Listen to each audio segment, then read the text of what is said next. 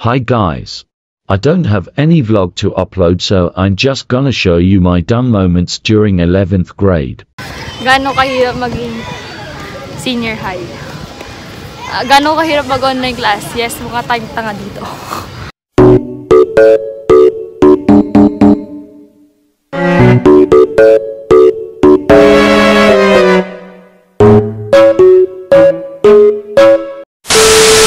Isasara ko lang tong bahay namin. Nagtataka kayo, ba't ako pupunta ngayon sa playground? Kasi nga, magbibideo ako. Magbibideo ako para sa video namin. Lang lalak ko lang yung bahay namin. Wala kasi akong magan wala akong tripod pang cellphone kaya ring light dala-dala ako. Ayoko na mag-invest. Meron naman, pwede naman ito practical dapat tayo. Mga tayong tanga. Shit. so, andito ako ngayon sa clubhouse namin. Kasi nga, dito maganda mag-video at ayoko sa loob ng bahay at maliit ang space ko doon. So, ayun, magsiset up muna ako. Kunin ko pa yung laptop ko. Meron pa kami script na sinusundan. Oh my God. Mga tanga. Yay. Hoy, Ada. Shh. Ano na, mabagsak pa doon.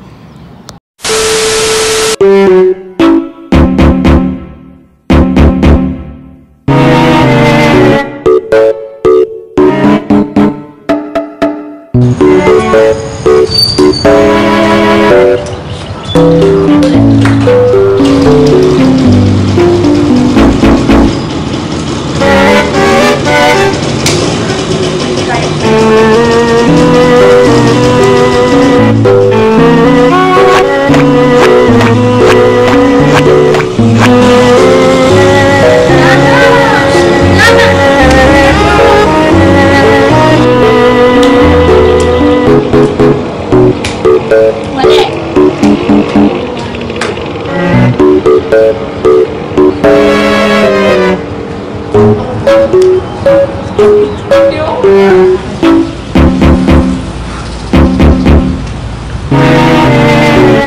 One, two, three.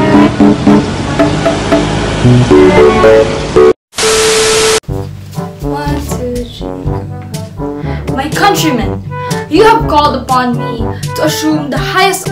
I accept the trust. My countrymen, diba? My countrymen, you have called upon me to assume the highest office within our gift, to be the president for the people, the land. It can be the humblest also, if you regard it as we must in the light of democratic principles. Ayoko na! Huwag na gawin to! Ilang beses na ako nagkakamali. Mag-tiktok lang kaya tayo.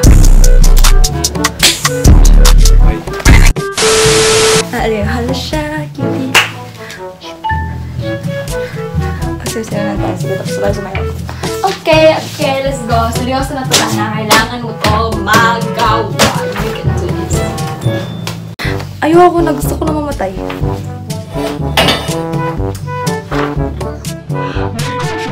You have called upon me to assume the highest office within our gift.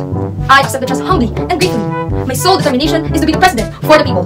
The office of president is the highest in the land. It can be the humblest also, if you regard it as you must. In the light of basic democratic principles, the first of these principles is the Declaration of the Constitution, the sovereign, the sovereignty, the sovereignty, the base upon honesty and morality.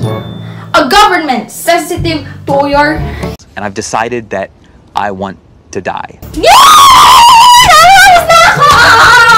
Ayoko na!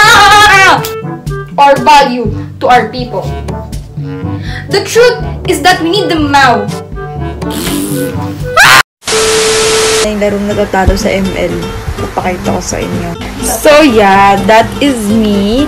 Tapos, ang gagawin natin, okay, okay, nakikita niyo naman. Napakagaling Dana. What a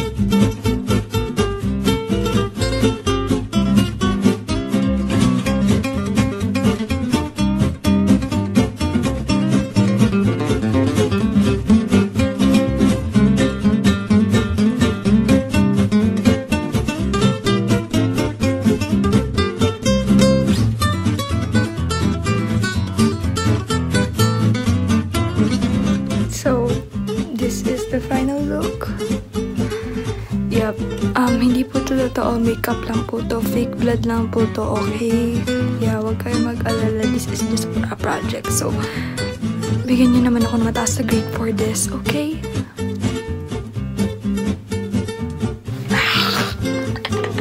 Hi guys, so yeah, hopefully nagustuhan, wait na nasa shop kasi ako kaya like, hopefully nagustuhan niyo yung vid na yon. So ayan, I have a very not so special announcement, normal announcement lang to, hindi naman siya importante, I just want to say this. So, you know naman that I started a mini vlog back in, I don't know, April ba or May? Yeah, basta yun. Naisip ko na ibahin na yung title niya to make it sound more original, ganun. Um, I've changed it to Dana's Mini Diaries. Basically, it's just mini vlog. Iniba ko lang yung title to be more original. Ayun. By the way, since tapos na school year, oh my gosh, grade 12 na ako sa pasukan. Congratulations pala, batchmates. Wow, batchmates! Mga Louisians dyan. Char. Congratulations for finishing this year kahit alam ko na sobrang stressed out na tayo. Ayun. So, hopefully makita kita tayo sa grade 12 or kahit sa second sem man lang. Don't forget to like, comment, share, and subscribe for more videos. And see you in the next vid. Bye!